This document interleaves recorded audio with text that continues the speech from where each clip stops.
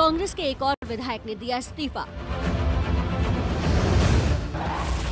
क्या चुनाव से पहले ही पुडुचेरी में गिर जाएगी कांग्रेस सरकार? किसानों के मुद्दे पर कांग्रेस की अगुवाई कर रहे राहुल गांधी आज पुडुचेरी में होंगे, लेकिन वहाँ पहुँचने से पहले ही उनकी पार्टी को तगड़ा झटका लगा है, क्योंकि मुख्यमंत्री वी नारायण सामी के करीबी माने जाने वाले विधायक ए जॉन कुमार ने इस्तीफा दे दिया है। ए जॉन 2019 के उपचुनाव में कामराज नगर सीट से विधायक चुने गए थे।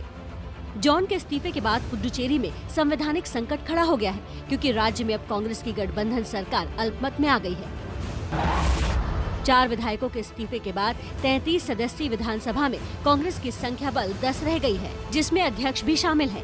उसके सहयोगी दल द्रमुक के तीन सदस्य हैं, जबकि एक निर्दलीय विधायक का समर्थन भी सरकार को हासिल है। विपक्ष के पास 14 विधायक है यानी सरकार और विपक्ष के विधायकों की संख्या अब बराबर हो गई है।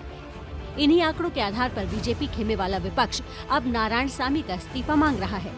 पुडुचेरी में इसी साल मई में विधानसभा चुनाव होने हैं, लेकिन उससे पहले ही कांग्रेस को झटके पर झटके लग रहे हैं। ए जॉन को मिलाकर अब तक कांग्रेस के चार विधायकों ने पार्टी का साथ छोड़ा है।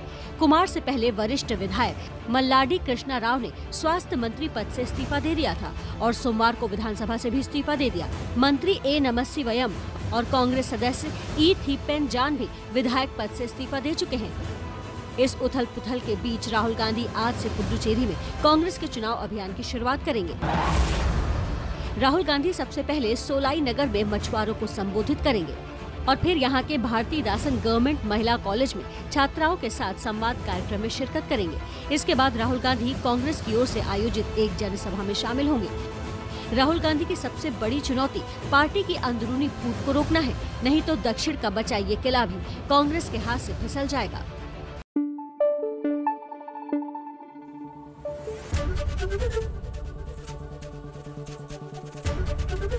एबीपी न्यूज़ आपको रखे आगे।